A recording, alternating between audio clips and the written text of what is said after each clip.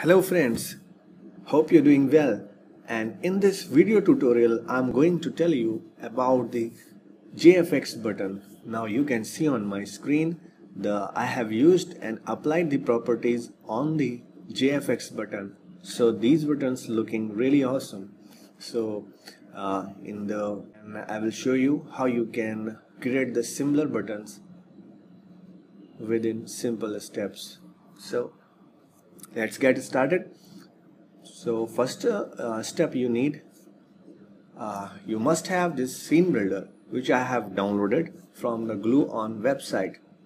If you have not downloaded and you want to make it so just follow the link given in the description box and download and set up the scene builder and then come back to this video and start doing. So let me show you the preview and uh, the features which I'm going to cover. Now here on the stage first you can see here the example of the flat button and the raised button. So I'm going to tell you about these two different buttons which you can use in your application. So what is the big difference between the flat button and raised button? So this flat button looks like it is uh, merge inside the stage but the raised button looks like coming out from the stage and it has some um, shadow around it. So you can feel the difference of this flat button and raised button. And uh, I have applied some coloring on it. Uh, you can see that I'm pressing it it's changing the color. And for the this uh, button now click. You can see that the white color is covering the button and it's fading out. And it this property giving uh, feels like we are pressing the button. Okay now come to the next one. The heading is hand cursor. Now here. Now you see that this button is simply a flat button but the feature I'm going to tell you which is once you come on this button and you're going to press it you can see that the cursor is changed into the hand cursor which looks very nice. So I will cover uh, this property as well and tell you how you can do it. Now come to the next one which is uh, a raised button but I have applied the effect. So we have the effect property which has many effects. So I have chosen one of them which is drop shadow effect. Now you can see that the black black shadow is uh, showing around this button and you can reduce it and you can change the color of the shadow and we have a lot more things inside the effect. So I will cover one by one. So just now come back on the uh, scene builder here. So first I'm going to cover. First we will talk about the button the flat button. So uh, this is my scene builder and JFX JFoenix is already installed inside it. Now you have to go here library search and type JFX button and you will see that the components available and just drag it here. So I'm talking about the flat button. Once you uh, drag and drop the button at this place you can see that the button is appeared. Now now come on the right hand side. You can see the inspector and this is the property and the properties window on the right hand side. So first I will uh, change the font type. Once you drop the button at this place you will get the default name which is button but you can change it like go to the right hand side you can see that the properties text and come inside this box and type my button. Okay now the button text is changed but it is very small. Now I will increase little bit. Now just below it you can see that the font properties is there. Now click on this. You will see the slider and just increase the font size. It's really easy.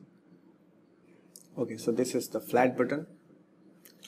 But uh, okay now see the preview can see that the button. You can see that the uh, rippling effect rippling fill which is gray but you want uh, you can do it more you can change the rippling fill as well no problem. So come back on the right hand side on the properties. Now you can see the rippler fill is the properties. Now just uh, click on it. It will show you the color box and you can choose uh, the color range can choose any of the color you want. So I will do exactly uh, white. Okay now okay it's done. But it will not be visible because of uh, my stage is already white. So we have to do one more thing like uh, the, this uh, target button. We have a blue color in the background. So how you will change it okay no problem. Just scroll down the properties window. Now come here. You can see that the style properties here. And once you click on it it will show you the drop down and choose the first one. Hyphen fx hyphen background hyphen color. Once you choose it now here in this box you have to give the color name. You can give the name of the color or you can give a hexadecimal value at this place. So my my button is flat button and this have a background of the blue so I will copy the same color from this button and I will paste the color here.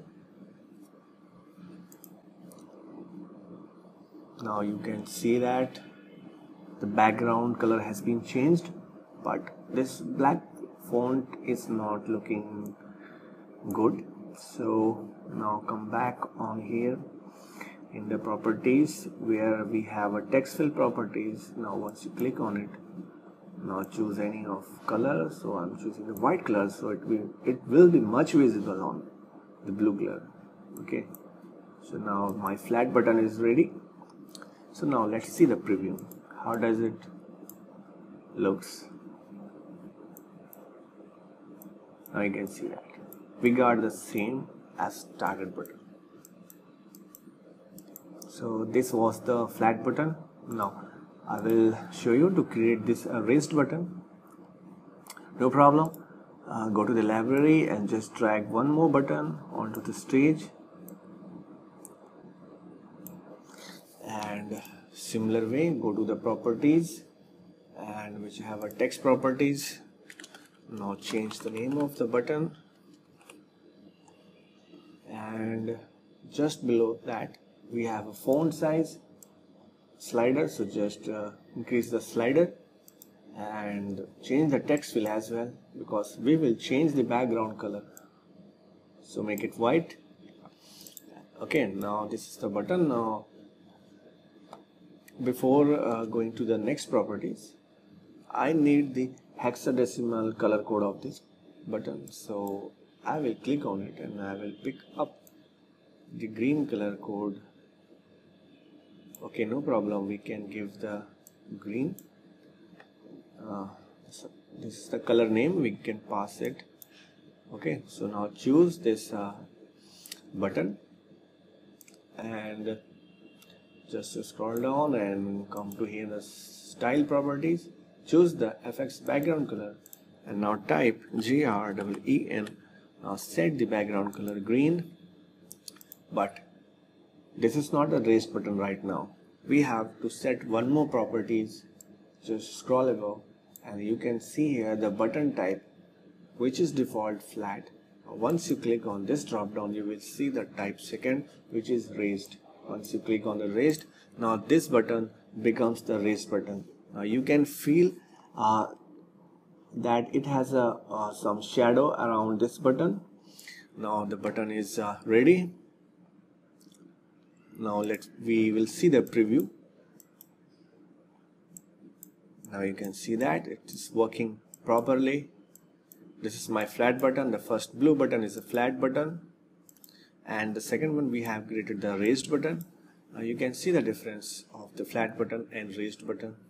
And we have also changed the background of the color okay now the third one I will show you how to change the cursor on the button. Okay now do the same. Get one more button from the library. And uh, we need a hexadecimal color code for that. So I will uh, copy the hexadecimal co color code from the existing one. And I will change the background color from uh, the style properties. And now paste the color code. And the color code is changed but the text is really small. Now come to the font properties and now increase the button size. Okay. Now now we need a cursor. So uh, on the properties window okay no problem. Come here just scroll down slowly and we have to find the cursor properties. So here is the cursor properties. You can see that the first which is a default selected is inherited. Once you click on this drop down you will see the many options here. And uh, we need a hand. So choose this one. Okay. Now go to the preview menu and you can see the preview now you can see that we got the cursor changed into the hand cursor and it's looking really nice. So in this way we can change the cursor. We have a lot more option. We have many options to change the cursor. And uh, now come to the next one so I will show you the, how to apply the effect. Uh, uh, so for that do the same go to the library and drag one more button on the stage. And you can change the background color as well with the style properties. But uh, you need a hexadecimal code so I'm going to copy from here. And come here. Again this is style property so I have to choose first one and paste it the color code. Uh, your button is ready. So this is uh, the flat button right now. Okay now scroll up and you will see the button type is flat. Now change this button to the raised button. Then we can apply the effect on it. So now uh, just scroll down a little bit and now we have this effect properties here. And this is the drop down. Once you click on it you will get a lot you will lots of effects inside this. So you can try it. I'm showing you which is uh, most useful which is a drop shadow. I want to take a drop shadow. You can see here on the button there's a shadow is appearing around this button. And one more click one more time. And you have options and uh, the sliders to change the width of the shadow. Like uh, you can see that I'm increasing so the shadow is increasing and I'm decreasing the slider from left. So the shadow is decreasing. And this is the height of the shadow. You can increase the height of the shadow as well. No problem. And this is the radius of the shadow. You can increase and decrease the radius of the shadow.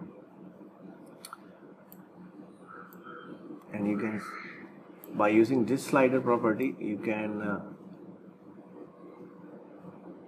uh, make it dark. You can see that. The dark shadow is appearing. Okay. If you want a light shadow so you can uh, do some adjustments with this these sliders. I can see the button and this is the awesome property. Awesome effect. Uh, yeah one more option is here. You can change this shadow color as well. Uh, you can choose the red black and which one looks much better. So I think black is a good option. Okay that's fine. Okay that's that's fine you can change the height width radius and spread uh, by these sliders. And you can set the effects whatever you want. Okay. Let me change the text as well. Font size has been increased. And now the text will be effect by helping by adding uh, the text inside this text property. You can change the text and uh, let me show you one more effect one more properties which is cursor again. So you can get the open hand properties by setting this value open hand to the cursor properties. Uh, you can get uh, good effects. Now you can see that we got it and this is hand cursor on the button. Once you come inside once you come on this button for click you can your cursor will change and it will be the hand cursor. And this is my raise button and this is the flat button. You have seen uh, the all properties and the effects and uh, the cursors we can use uh, with the buttons and we can do more uh, we can do more with uh, these buttons. So with the help of uh, the good color combination you will get the very rich GUI effects inside your JavaFX application. So the JFoenix is really awesome and these buttons are really cool. I hope you will like this video. That's all guys. I hope you enjoyed this video. So please like and subscribe my channel and press the notification bell icon for new video updates. Thanks for watching.